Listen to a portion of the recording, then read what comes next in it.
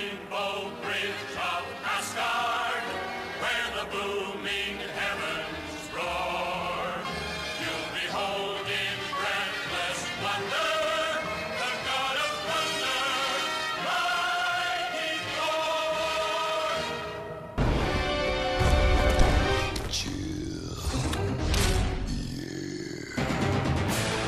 Hello there, gang, and welcome to another episode of Displaying Model Behavior, the Earth's mightiest video podcast. So take off your pants, crack a beer, and let's talk toys. Let's talk about the Kaiyodo Revoltech Thor. This guy has literally just landed at Model Behavior Towers, and I got a few things to say. So let's talk about him. But before we do, I'd like to give a shout out to Into the AM, who are sponsoring this channel and also providing me with some badass graphic design t shirts. If you like this, they have it and many other styles as well over at intotheam.com. Don't worry though, you don't need to type out the address, just click the link in the description below, because if you do that, you get an extra 10% off because you're one of the model behavior good brothers. And they got some badass designs there, and by buying something from them, it helps support this channel, keeps the lights on, and lets me buy dubious action figures sometimes. I admit some of my choices are better than, than others. Is this Thor one of the good ones? Well, we're going to find out right now. So first of all, as we always do, we can take a look at the box on the ludicrously expensive Spinatron 5000. And I gotta say, the new designs for these Revoltech boxes, I kind of like them. There's a real uniformity to them. I enjoyed the old comic book styles. They were really cool, but this is very sleek. This is like if you're buying a Thor action figure from the Apple store. And then we get him out of the packaging and on a display stand with the effects. Oh my goodness this guy pops. He really, really does. This is a figure that was designed for dynamic posing and he looks badass when you get it right. But there are some highs, lows, and middles to this figure, and we're going to talk about them all. So, first off, the initial impression and the bottom line is this is great. Instantly out of the box. That's really, really good. Because I wasn't too sure. Because I saw him in a display case in Yodobashi camera, and I was like, he looks dynamic, but looks a little bit orangey. I'm very happy to say that he is not half as umpalumpery as he might look in some pictures, because he does definitely have a little bit of an Essex tan going on, but it actually does kind of fit with the style. Because occasionally you might get a figure and you see the skin tone and it's like, oh, geez, I, I don't know about that, guys. Was, was that your intention or was that just how it came out and you thought, ah, we'll go with it. But this actually works. And I'll go one further. The actual, I'm using actual a lot. I don't want, I'm not going to edit that. the, the shadows and shading on the muscles give out some real nice definition. It's not just one flat skin tone. I don't know whether it's a dry airbrush wash, whatever, whatever it is. There's, there's real dark shadows and shading that make all the veins pop. This is a veiny Thor. You're so vain. You probably think this review's about you. Well, it is, because you deserve a review of your own, because you got some good things going on here. So all of the biceps, the triceps, the deltoids, it, they, they are literally they're popping because this this this dude like he, he's full on Dragon Ball Z style God of Thunder going into battle, and that's what I wanted for Thor. Because for ages I've had the 80th anniversary Marvel Legend, and, and he's good. He's good for what he is, but he just has such a bored, static, stoic face. And then when the Mafex came out, I thought, oh, great, finally, I'm going to have a cloth cape and, and an uh, going into battle type face. But we know the Mafex was a bit underwhelming. Then finally, Revoltech, have they put all the pieces in place? We got the cloth cape, we got dynamic poses, and we have a whole ton of faces. So at the moment, I've got him with the ah, and also with the McFarlane side eye as well, which I know a lot of people don't like the whole side eye looking off in a different direction kind of pose, but that's great. You got ton to choose from. There's, it's not like you're limited to this. He's, he's got a whole bunch of face portraits. So I'm just going for this one because I'm putting him in various dynamic, swinging his hammer, charging into battle type poses. So that works really well in that regard. So the skin tone's great. I'm, I'm fine with that. And especially the wash that goes over the top, that really does just, you know, bring it. It brings it over the top. It makes it work really well. Then if we go to the actual body itself, the texture everything has texture. That's what I'm trying to say. Texture exists on everything. So his tunic, his uh, the, the, the metal plates, the armor, going down to his boots, which I guess are meant to be like a, a leather. They have a kind of a leather hide to them.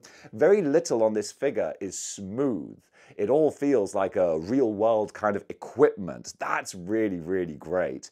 And then he's got some interesting tooling and sculpting going on with his waist kind of. Uh, the, the, the, material that, that should be going around his waist. This obviously is plastic. This is uh, meant to be like, they, they could have done it with soft goods, I guess, but you know, we got the soft goods cape. So they're like, you're not getting all soft goods. This, this ain't a Mezco figure, all right, pal. Slow your roll. So instead, we got these plastic sections that kind of articulate around his waist. And honestly, it actually works because if you want to get the legs up and put him into a more dynamic kind of pose, it, they, they sort of bend and flex and it, it does kind of break up the, the lines of the belt. But actually, it's kind of okay because with many other figures, if they just have one solid plastic piece around their waist, when you twist them at the hips, then that that belt that that belt starts to bend and warp and ultimately it's going to you know distort the figure. Whereas here because they're actually on pivots and hinges and pegs you can move them around and it, it doesn't compromise the actual sculpt. So i'm kind of okay with that. I'm kind of okay with that. Then we have the what i would term slightly unusual the slightly weird revoltech upper torso uh, articulation where he's got these sort of shoulder butterfly swivel things. I mean, it's it it is unusual. It's a choice. It's a choice, Revoltech, and they've been sticking with it for a long time. So I guess it works. I mean, it does allow you quite a large range of motion, and amazingly, they do seem to tessellate quite well. They've been using this style for years, and some of it it's implemented horribly, like in their Venom that came out many years ago, which I stupidly bought, which is literally the worst action figure I've ever bought. Might do a review on that one day. It's the worst. Whereas this, th this all sort of tessellates and sits quite nicely. So even if you bend the the shoulder pieces back, it still kind of fits his his body. There's no big gaps or anything. And that takes me to my next point. Anytime you articulate anything on this figure, buttery smooth buttery smooth. And that's another big point as well. Not too smooth because my Revoltech Black Panther, my Revoltech Deadpool, oh, they got some wibbly wobbly joints now, baby. They got some. Their, their, knees are almost as bad as my knees. They they are flawed in that regard. Whereas this Thor, you got you got, got a couple of very satisfying squeaks when you move his joints because they're nice and point. That's what you need. So hopefully those are getting better because th this dude, he will stand. He's going to stand tall. He's not going to going to topple over from weak knees or ankles, which is nice. And another thing that they've improved, which needed to be improved, is the shoulder joints because it, it is an it's an interesting design style, and Figuarts do it as well. It's it, it's the ball peg shoulders, which sometimes when you lift up the arms, then you get a huge amount of space and and just air in the shoulder. What they've done here, though, is they've really thickened up. They've thickened up the deltoid where it attaches to, to the torso. So when you do move his arms up, it, it still fills in the gaps. It just kind of looks like he's got very deep armpits. So that, that kind of works. As long as there's no air there, I'm okay with that. So that's actually all right. And just the way that his arms are articulated, the way that the, the forearms go into the biceps, that go into the delts, I love the way that they all sort of tessellate and fit like a puzzle piece. It's just very satisfying to play around with. I've always said that with Revoltech figures, that, that moving them and articulating them and posing them, it's a bit like a Rubik's Cube. It's not just a case of bend, bend, bend. You've got to sort of work things around, sort of tessellate, slide things into place, and I actually find that really satisfying. So then finally, we're going to go up to, to the head, and dude, I love I love the the helmet design. It's it's not the classic Thor look, but that's okay because I think the kind of the, the bowl cut looking helmet, it, it, it always looks a little bit derpy, to be honest. I much prefer this more Norse battle kind of helmet. It always just looks more badass, I think. And this is actually an articulated helmet, which is interesting. You've got the, the, the, front piece and then you've got the back piece over his hair as well, which actually is great because this is another thing. bravo Revoltech, I just realized that because they've got the articulated helmet with the, with the hair on the back on a ball peg of its own, that means that this Thor can look up. He could actually look up. Oh my goodness, I didn't even clock that until I was thinking about it because that's something that I've always said. It's like, okay, this character with long hair can't look up, but you know, what are you gonna do? And Revoltech said, well, I'll tell you what we'll do. We'll just put the hair on a ball peg. Man, that's okay. You get some extra points for that. You, you get some extra points right there. So also, I'm, I, can, I can see now from where I've, I've been bending it, his actual whole neck below, oh, I just bashed my microphone. The whole neck below there is, is on a, a ball peg swivel as well. So you can really get a lot of range of motion here. It's good stuff for Revoltech. That's, that's real nice. And then the cape itself, of course, a wired cape, and it's thick. This is a thick regal cape. I really, really like that. And the way that it, it, it pins in, sort of pegs in with his armor at the top there, man, yeah, those around the collarbones really bring out sort of the, the, the physique of the character. Dude, you're, you're seeing me get more appreciation for this figure in real time. And of course, just little extras or little extra attentions to detail, like his, his gloves, the, the spikes around there. It's a very modern looking Thor design, but I like this. I love the mixing up. You know, my Avengers display, it's always going to be different styles. So I, I really like this look. The face, you know, it's, your mileage is going to vary depending on how much you like anime designs. Me, I don't want a full anime set. But I actually like having some anime influence mixed in with my legends and my Mezcos and my Mafexes and my selects. I'm a funny cat like that. So this, this is going to go beautifully. And then, boy howdy, we got a whole lot of accessories as well. I mentioned the face sculpts. You got loads of different face sculpts, so that, that, that's great. You can have him stoic, charging into battle, full on Dragon Ball, da, white eyes, God of Thunder look. So, so many different display options there. A whole bunch of hands as well. That's really, really nice. And then so many lightning effects. A whole smorgasbord of lightning effects that you can attach to the hammer and have all around him, going up his body, crackling with energy. So it's an expensive figure because Revoltech are expensive, especially you got to go for import prices. Luckily, being in Japan, it's it, it, it's it's cheaper. It's actually not a hell of a lot cheaper, but you do expect more. You should expect more because of what you're paying. But then again, I was saying this about Marvel Legends the other day. I would happily pay more for just, you know, more bespoke Marvel Legends that have more accessories, that have more custom tailoring sculpting just for them. I want the best version of a character, not just one that's done just for the sake of having that character, you know? This this is the best that they could possibly do, I feel, with this new Thor design. They've gone all in and it really, really works. So you can see here, there are so many lightning effects. This is really, really great. And you can put them in all different combinations and different places. So there's not one set style for them, which honestly, I don't like. With my obsessive compulsive brain, I need to know where everything goes. But actually, you have a lot of freedom. And there's a different hammer head as well with some holes in that you can place the lightning into.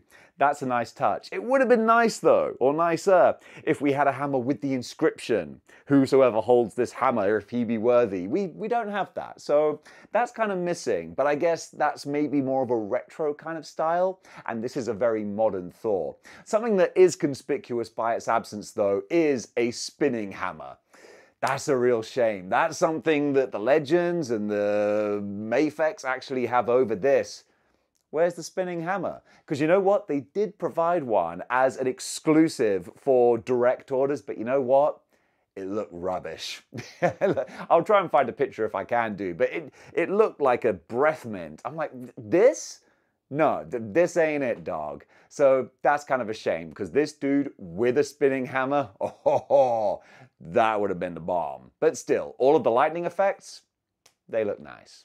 I want to do some size comparisons because this is something very important for the God of Thunder, which I gotta say, does fall down just a teeny tiny little bit. You can see next to some other figures here, we've got the Revoltech Deadpool, we've got a Marvel Legends Spider-Man on, on the Renew Your Vows buck, and even the Mafex Thor. he doesn't scale as big as I would have liked. Thor should be towering above his Avengers teammates. Not like crazy so, he's not a giant, but he should clearly be, I feel, the biggest of the bunch. The dude is a god. Whereas here, he is taller, but he's not as dominating as I would like to see him be. I mean, the biggest problem that I had with the Mafex Thor is that he's too small and too slight. And this one is only slightly bigger, but then again, he's a heck of a lot thicker and more jacked, and that really adds to it. All you short kings out there, you know if you don't have the height, you can always just kind of bulk up and you know look a bit more intimidating and more power to you. Whereas Thor, he he's got the bulk, but because he is a god of thunder, it would be nice to have him a little bit taller. But honestly, let's face it, in my display, he's going to be in a flight stand. He's going to be in a crazy dynamic pose. There's going to be thunder and lightning crackling all around him. A couple of inches in perspective height, it's not going to make much of a difference. But I got to call it like I see it. So he's not quite perfect, but boy, is he close. All right, now let's give him a grade. So as a final grade for the Revoltech Thor, I am going to give this guy four stars out of five with a boom seal of model behavior. I really wanted to give this guy five stars, but he's just a little bit too short. If he was a bit taller, a bit more dominating, then he would have got that five, but I still give him the seal of model behavior because I love so much about him. And gang, that does it for my review of Revoltech Thor. What do you think about this character? Comment below and let me know. Do you like the anime art style or does that kill it for you? I gotta say, I love mixing up my displays, so that works really well for me. And just the buttery smoothness of the joints and the articulation, the thought they've put into making the costume and the hair and everything work for posing, and then the gorgeous regal thick red cape. Yeah, I, I really, really love this. Revoltech, they have been improving their game so much over the last year, and it really shows. So gang, thank you so much for watching. If you want to support the channel, check out the sponsor link in the description below, and I stand by what I said. If anyone buys any t-shirts from Into the AM, send me a proof of purchase, and I will hand sketch you a little piece of bespoke mold behavior art and post that off to you as a little thank you for helping out the channel. You can put it on your fridge and go, he's a grown man, and that's the best he could do. Bless his heart. So gang, thank you for watching, and until next time, keep displaying model behavior.